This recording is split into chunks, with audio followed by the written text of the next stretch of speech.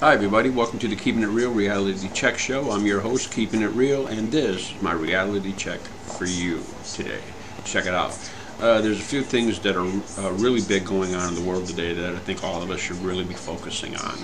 Um, uh, number one, of course, is the Ebola virus, um, um, the epidemic that is uh, currently going on in uh, uh, Sierra Leone in Africa.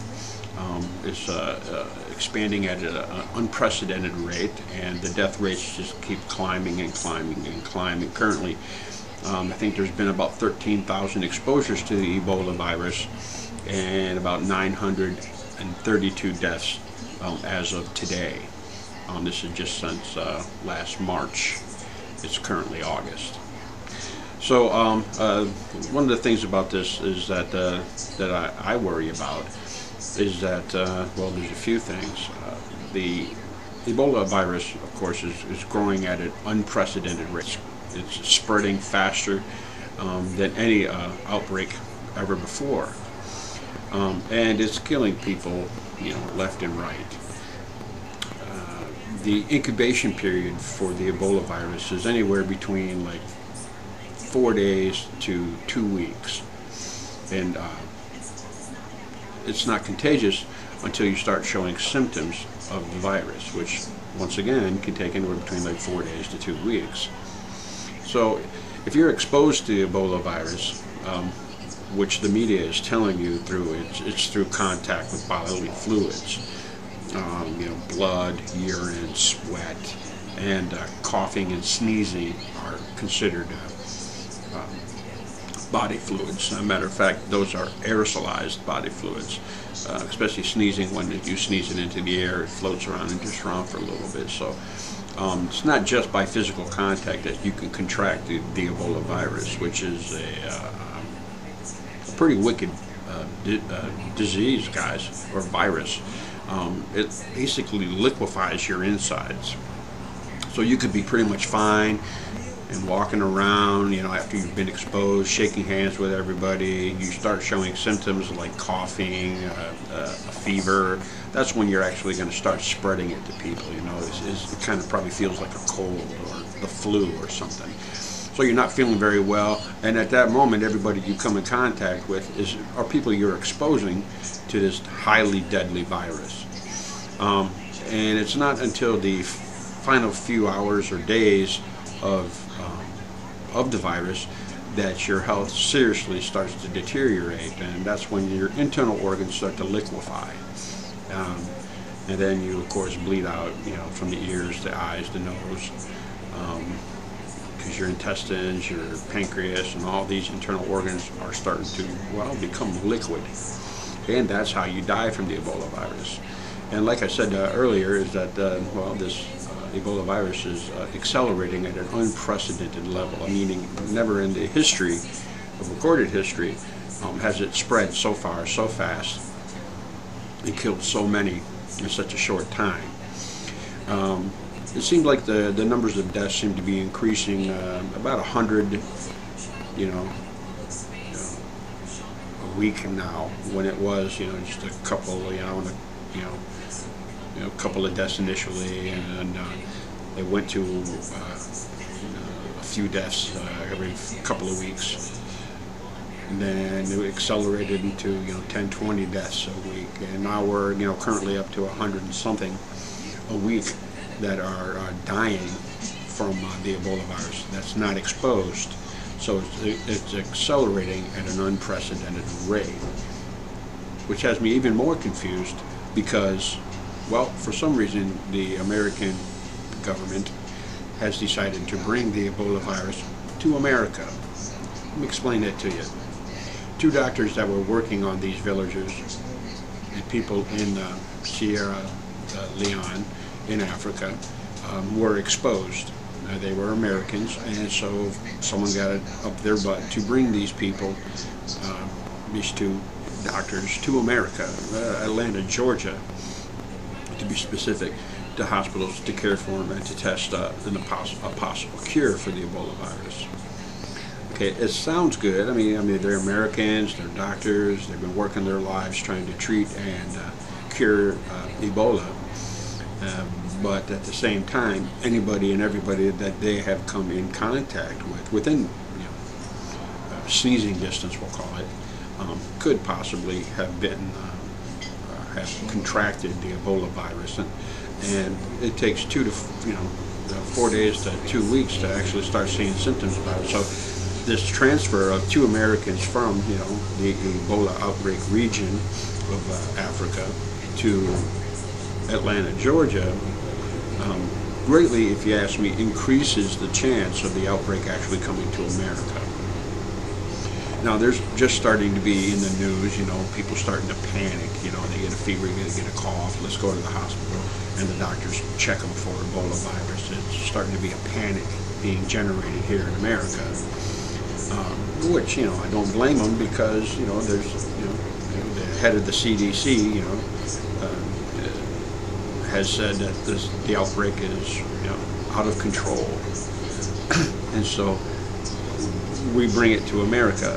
That just makes absolutely no sense to me. So this transition, you know, from you know bringing these people from Africa to uh, Atlanta, Georgia, a highly densely populated area in, in America, um, just we won't know if uh, people have been affected, you know, for four to four days to two weeks, and so this exposure can just continue and continue and continue until you know we have a pandemic, you know, which is a you know a viral outbreak uh, on a global scale.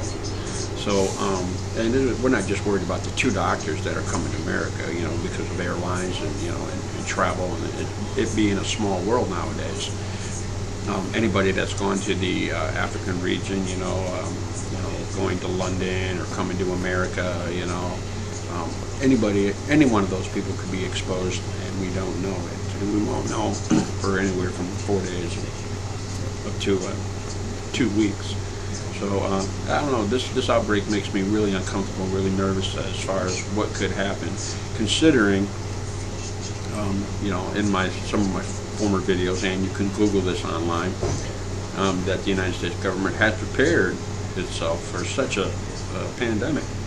Um, millions of plastic coffins have been spotted staged throughout America uh, mass graves have been dug and, and prepared, you know, to bury, you know, four to six people per tomb in, uh, you know, in, in, national cemeteries all across America, you know, the ability to bury, bury, you know, hundreds of thousands, if not, you know, millions of people in mass graves, you know, you know, high-tech, you know, 2000, 21st century mass graves, you know, they don't just pile the bodies, they throw them in these concrete tombs, you know, about, you know, four to six people deep throw concrete cover them, and then you just set them, you know, right next to each other, you know, filling entire fields, you know, with bodies in these mass graves. So it's kind of a high-tech mass grave thing. But the, the, the United States government um, has, you know, uh, these sites prepared all throughout the country, and they have for quite some time, at least 10 years. And they seem to be preparing that, you know, constantly throughout the, you know, as each day passes. And one another grave concern to me too is that the Department of Homeland Security has uh, obviously been preparing, preparing for either civil unrest, a natural emergency on a grand scale, you know, or maybe even a biological outbreak by arming the Department of Homeland Security to the teeth. Um, matter of fact, every branch of the federal government, right down to um, you know parks and nature, you know DNR and Social Security agents and stuff like that, are now being armed with, you know, hollow bullets, you know. You know, they, what the Department of Homeland Security has bought close to three billion rounds of ammunition. Three billion rounds of ammunition for what? You know, so you throw in the, you know, the ammunition, you know, the the, the, the vamping up of the, Department of Homeland Security to be a, a national police force that is well equipped and to, uh, well, to overtake America or you know subdue it, you know, or I don't know what's going on, but the Ebola outbreak IS a, is a, is a grave concern to me, and as it should be to all of us. I mean, and, and, the Ebola virus is not the only thing we really need to worry about. I mean, you got well, the, you know, Israel and ISIS, you know, now being called is, which is basically a global jihad. Uh, that is going on right now. It started with the Arab Spring back in 2011. You know, uh, you know 21 uh, Arab countries, you know, overthrew their governments and implemented, you know, uh, you know, uh, Sharia law and uh, a, a, a jihad uh, in 21 countries, and we kind of like the media just kind of blew it off. But because they blew it off, now uh, Iraq has basically fallen to these extreme radicals that are directly connected uh, to Al Qaeda and uh, all its other branches, you know, like the Al Nusra and, and, and, Hamas and all these other groups and organizations. Now that they've actually is is Islamic State. has basically taken over Iraq and Syria and uh, and all the other 21 countries and are rising up right now with the goal of a global jihad and recent news stories uh, and video posted by them is their claim is to basically fly an Islamic flag over the U.S. I mean, so basically you're talking a, a global Sharia law coming to not only all the world but America and with Obama in, in, the White House, you know, arming and financing them, you know, publicly in the media, that also is a, is a huge concern uh, to me, as it should be to all of us. Um, uh, the world is in a, a, state of upheaval now that I think, um, well, it hasn't been seen in, in, in, well, ever. And I think that's something that we should all seriously be, be uh, paying attention to and uh, preparing for. You know, um, I think if you can own a gun, you should go out and buy a gun. And if you buy a gun, you should train with that gun, learn how to use it. And if you have, you know, children that are 13 years or older, I think you might want to, you know, uh, familiarize them with guns and the use of them, the safety of guns. And that way you can um, better uh, defend yourself uh, against whatever situation it might be, whether it's a, some burglar coming in your door, Islamic radicals freaking out at the supermarket and killing a bunch of people, or um, a hostile takeover uh, of America, you know, from within. So uh, I think that uh, that is something that we should all definitely be doing. We should be arming ourselves and uh, knowing how to defend ourselves, you know, hand-to-hand combat uh, and familiarize yourself with weapons. And of course, stockpiling food and necessities and the knowledge to get you through times that I think are no doubt coming. It's just a matter of time. And so uh, that's basically it. This is a, a short summary of uh, things that I think are, are really uh, distressing to me, and they should be to you. Um, I understand that uh, the news is depressing, and, and, and, you really don't want to watch it, but I think you should.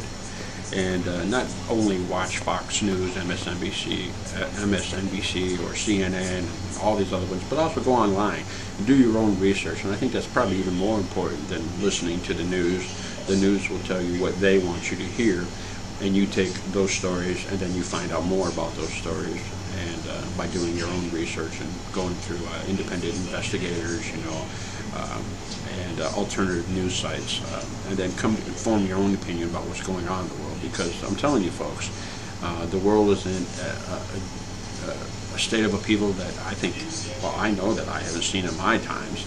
And being a history nut, I don't think I've ever read about a, an upheaval on a global scale that we're about to uh, uh, undergo. And what's kind of concerning to me is, you know, we got this Ebola outbreak, and we got, you know, you know, ISIS or IS or Al Qaeda, whatever you want to call them, global jihadists that uh, want to impose a global caliphate on, on the whole world, um, uh, ramping up right now on a huge scale. And uh, I think that's something we definitely all need to be prepared about. Winter is coming, and if something like that were to strike in the middle of winter, I think we have a, huge problem and an insanely large death rate if you're not prepared uh, with knowledge and guns and weapons and food. So I guess that's my uh, calling out my reality check for you today is that, well, uh, pay attention to the news, guys, uh, and do your own research because the Ebola outbreak is not a joke. You know, this ISIS, this global caliphate, is not a joke. It's going on, and they are very serious about it.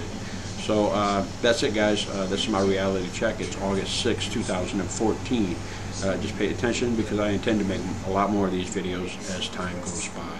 So uh, that's it, folks. Peace out. This is Keeping It Real, as always.